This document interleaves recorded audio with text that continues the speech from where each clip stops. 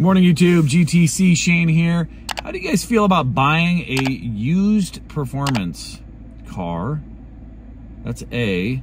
And B, what would you consider high mileage in a used performance car? All right, let's talk about it.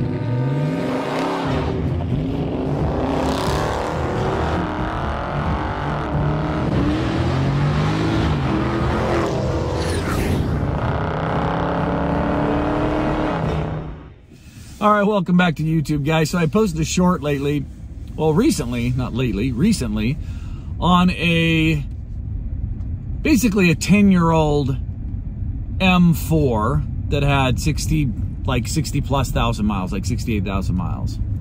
Pretty sweet little 2014 M4.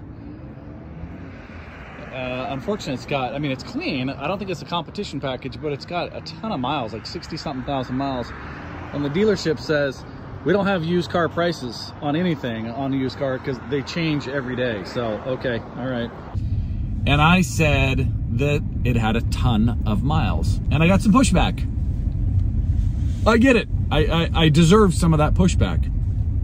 The pushback was that's not, in quotations, a ton of miles. And really, a ton of miles is not a measurable term. It usually means there's, you know, like what, a couple hundred thousand miles on it. But it really brings up a point of, and and this is how my mind works, was well, what what's a high mileage car? I think there's two categories. One is what kind of a car are we talking about? Are we talking about the most reliable cars on the road? Toyota, Honda, and Lexus? And are we talking about the Accords or a Civic or a Tacoma? You know, something something every day that's not performance. Most articles would support high mileage being over a 100,000 miles. I think that's pretty reasonable, and I think most people would agree that 100,000 miles is high mileage. My point was this was not a Toyota, Lexus, or a Honda. It doesn't even make the top 10 list in terms of reliability, according to like JD Power and Kelley Blue Book and some of these others that rate cars and consumer reports. It's a BMW. And not only it's a BMW, it's an M BMW. It's a performance car. So my threshold for high mileage in a sorry about the sun, guys. Let me see if I can change this a little bit. My my point was high mileage in a performance car should have a different threshold, right? I'm not gonna buy a hundred thousand mile used performance car. Probably not. I probably won't even buy one with 60,000 miles. Now, Hemi Muscle, if you guys watch his channel, such a great dude and such a great channel, just released a video. It was only like four or five minutes, and he kind of alluded. He was, his point of his video was talking about repos and and that uh, the, the market is going to be flooded for various reasons. But he brought up a good point about buying used Hellcats and Scat Packs. And he didn't say don't do it, but he was saying you might be able to find a deal where there's a used Scat Pack or Hellcat with under 10,000 miles. So I am just trying to defend my position a little bit because in general, most people that are driving performance cars are driving them how they should be driven in a spirited manner, right?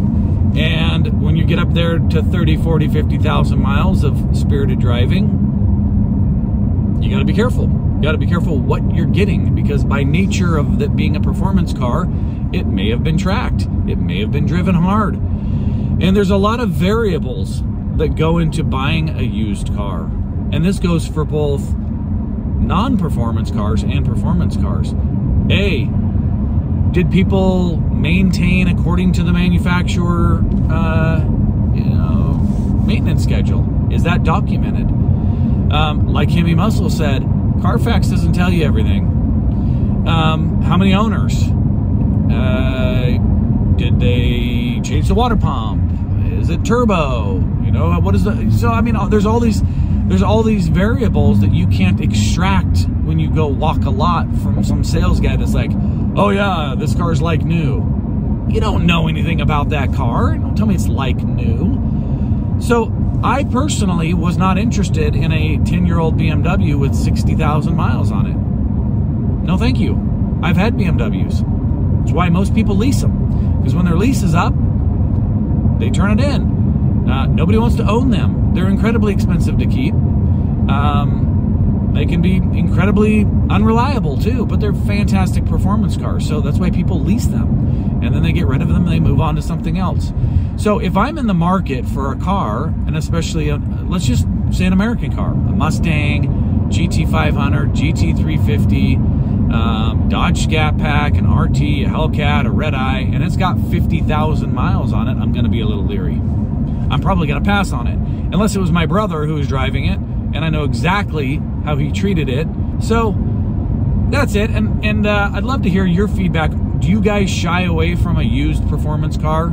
Would you buy a Corvette with 50,000 miles on it? Would you buy any performance car? And I'm not talking about high mileage Toyota Camry. It's a different story. Um, so, anyways, it got me thinking about it. I did a little research on on uh, performance cars and so forth, but I I think most of you would agree you got to stay away from higher mileage performance. And the whole point of my video is the threshold for high mileage in performance cars, in my opinion, would be half. So if you've got a 50,000 mile, to me that's a high mileage in a performance car versus a 100,000 in a non-performance car. Just kind of making stuff up, flying, flying from the seat of my pants. All right, guys. Till next uh, GTC video, this is Shane. You guys take care. Have a great week, and uh, we'll see you soon.